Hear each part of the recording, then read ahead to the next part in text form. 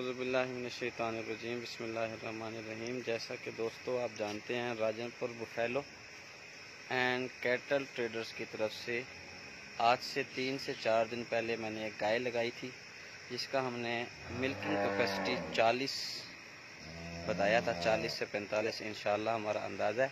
पिछले सुए पे इसने 33 लीटर दूध किया था, दूसरा सूआ है, माशाल्लाह आज सो गई है। काफ़ी दोस्तों ने कहा था कि जब ये बच्चा दे डिलीवरी दे ये हमें लाजमी वीडियो दिखाइएगा। माशाल्लाह, फ़ीमेल काफ है। बहुत अच्छी बनी है। गाय हमें बहुत पसंद है, बहुत अच्छी है। अल्लाह ताला हमें नसीब फरमाए। अगर कोई ख़रीदे तो अल्लाह उसे नसीब फरमाए। हमारे पास खड़ी भी रहे, ऐसी चीज़ें माशाल्लाह रोज़ रोज़ नहीं मिलती। गाय की सबसे बड़ी खूबी यह है कि गाय का माशाल्लाह थन बहुत प्यारा है। ऐसी गायों का, फ्रीजन का, हैवी गायों का 40-45 लीटर वालियों का थन चुआई वाला नहीं होता। तो माशाल्लाह थन बहुत प्यारा है, चुआई भी इनशाला ये प्यारी करवाएगी, ये आप देख सकते हैं। उठा लो यार। थोड़ा नहीं टोरो।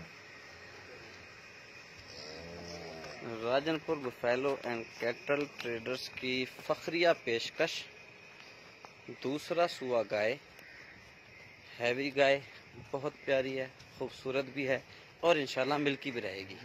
चलो भाई मिल्की भी रहेगी इनशाला आप चड्डा देख सकते हैं, माशाल्लाह, बहुत अच्छा बनाया है। वाना भी बहुत अच्छा है, थन भी बहुत अच्छा है। और गाय हर हिसाब से, माशाल्लाह, बेहतरीन है। अल्लाह ताला इसको सेहत और तंदुरुस्ती के साथ लंबी ज़िंदगी अता फरमाए।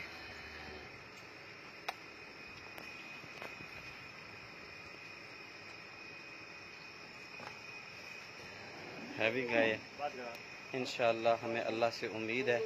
40 से 45 लीटर दूध की बाकी जो रब को मंजूर है, वही होगा।